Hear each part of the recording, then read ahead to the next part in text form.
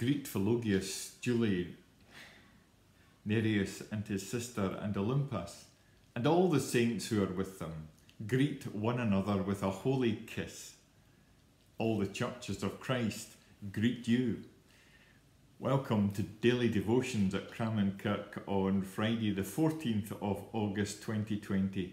Inspirational saints are the theme of our devotions this week. Let us pray. You fearful saints, fresh courage take. The clouds you so much dread are big with mercy and shall break in blessings on your head. Amen. This particular Old Testament saint helps us to honour the outcast. Her name is Rahab, and she's a complicated person with divided loyalties. Her actions saved herself and her family, but led to the destruction of her city, and a lot of lives were lost.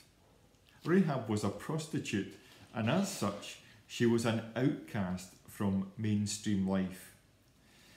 She was, according to the book of Joshua, a woman who lived in Jericho and she did assist the Israelites in capturing that city. She did so by hiding two men who'd been sent to reconnoitre the city prior to the attack. Her actions did save her city. By New Testament times, though, she is lauded as being an example of a saint who lived by faith. Many people are drawn to the Christian faith because it offers healing for those whose behaviour has been unacceptable or who are broken in body, mind, or spirit. Lives that seem to be worthless can be redeemed and restored. Everyone can have a part to play in God's purposes for the world, and that's encouraging. Let's remind ourselves of what the New Testament has to say about this unusual saint, the letter of James. Likewise, was not Rahab the prostitute also justified by works when she welcomed the messengers and sent them out by another road? Or in Hebrews chapter 11, by faith Rahab the prostitute did not perish with those who were disobedient because she had received the spies in peace.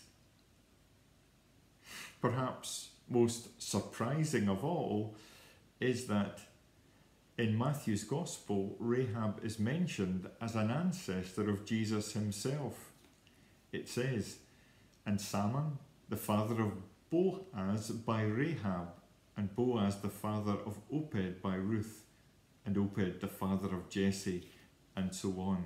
This is Jesus' genealogy from Matthew chapter 1. Rahab's story leaves questions in our minds. The one that sticks with me this morning is this Does my attitude to other people encourage them to believe that God loves them and accepts them and has a role for them, no matter their past behaviours? Let us pray. Great and loving God, as we join in these daily devotions, we thank you that we are never alone, but in the company of all your people. Open our hearts and minds to the saints, past and present, who have shown courage in challenging situations, whose example has strengthened others across the centuries. Lord God, we pray for those today who are struggling with a lack of decisiveness. And hold in your healing presence all who are ill in body, mind, and spirit. Draw close to anyone who's consumed by guilt or fear. And in all the duties and activities of the day, be our companion through Jesus Christ, in whose name we pray. Our Father, which art in heaven, hallowed be thy name. Thy kingdom come, thy will be done on earth as it is in heaven. Give us this day our daily bread, and forgive us our debts as we forgive our debtors. And lead us not into temptation, but deliver us from evil.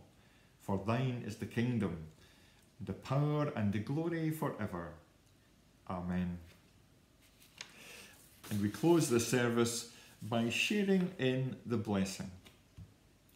May the peace of God, which is beyond human understanding, keep our hearts and our minds in the knowledge and love of Christ. And may the blessing of God Almighty, Father, Son, and Holy Spirit rest upon us and remain with us from this day and forevermore. Amen.